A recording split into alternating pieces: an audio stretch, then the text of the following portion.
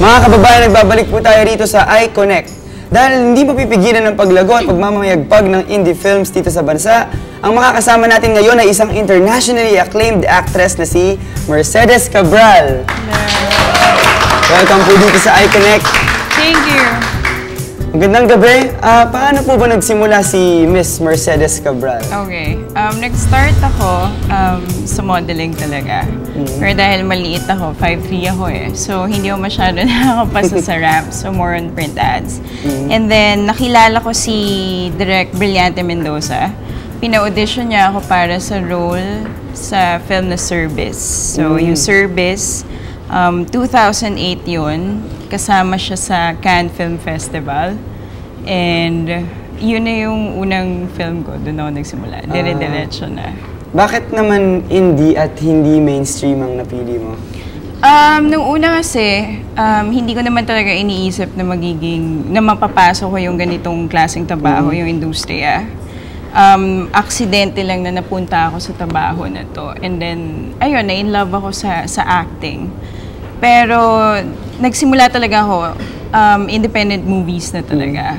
So, um, ang difference naman ng independent movie sa, sa mainstream, una, yung, yung mga storya, yung konsepto, and acting.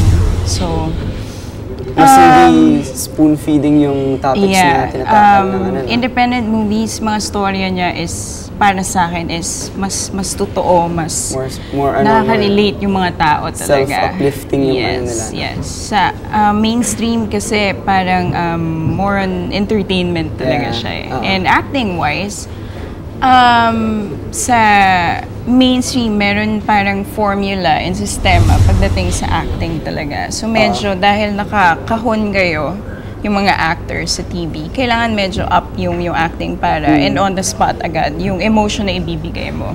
Sa film kasi dahil um, malaki yung, yung screen, mas Oo. importante din talaga yung facial expression. So, yun yung difference niya. Wow, dami palang mga Yes. technicalities ng ano, acting. Anong masasabi mo na mas na-recognize ang indie film sa ibang bansa kaysa dito sa atin? Um, Siyempre, andun yung nakaka-frustrate kasi um, yeah, mas na-appreciate ng banyaga ng mga taga-ibang bansa ang pelikulang Pilipino. Oo. Hindi namin masyado nakukuha kung ano yung nakukuha namin na attention and recognition sa ibang bansa.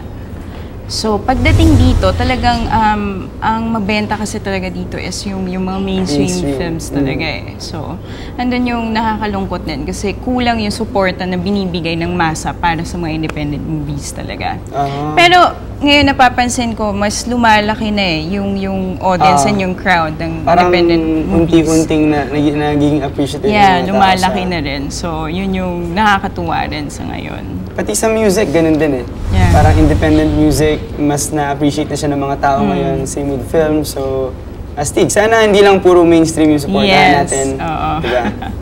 Sa Cannes Festival, you were voted as the most beautiful amongst the actresses who walked in the red carpet. Wow! What did you feel nung nalaman mo na ikaw yung binoto? Ayun, sobrang nagulat ako. Actually, yung gumawa nung, nung online poll is yung mga paparazzi dun sa, sa, Ah, sa? Cannes. Wow, awesome. So, napansin ko kasi mahilig yung mga Europeans talaga sa mga morena.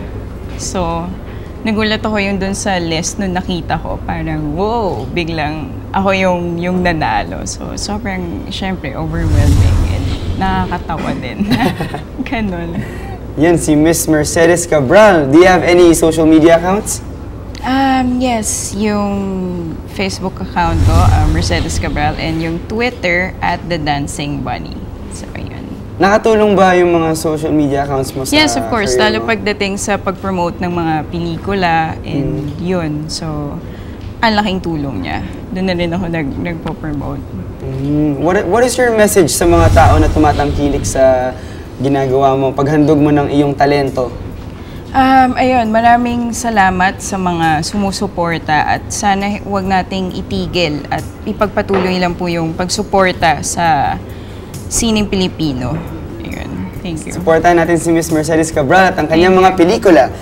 uh, kindly invite our viewers sa iyong upcoming movies or shows or follow o paano ba nila ikaw susundan sa social media accounts mo ulit? Okay. Um, ngayon po, simula na ng Cinema One Originals. So, meron po akong dalawang entries doon. Yung um, Aberia by Christian Lenaban and yung Mater Dolorosa directed by Adolf Alex.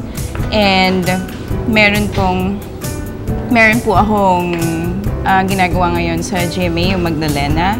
Um, every 4 p.m. po siya, Mondays to Fridays. And um, Bad Romance, kay, directed by Ian Del Carmen. And yung Womb, kasama ko po dun si Miss Nora Honor. Kasama po siya sa MMFF. This December 25, papalabas na po siya. So, yun. Ayos. Support indie films, indie music, and everything indie. And also mainstream, pero alam mo yun, supportahan nyo na rin yung indie. Thank you, Miss Mercedes. Maraming Thank you, salamat. thank and you. we're looking forward to your future films, shows, at kung ano nga pwedeng makita natin si Miss Mercedes Cabral, everyone. Thank you.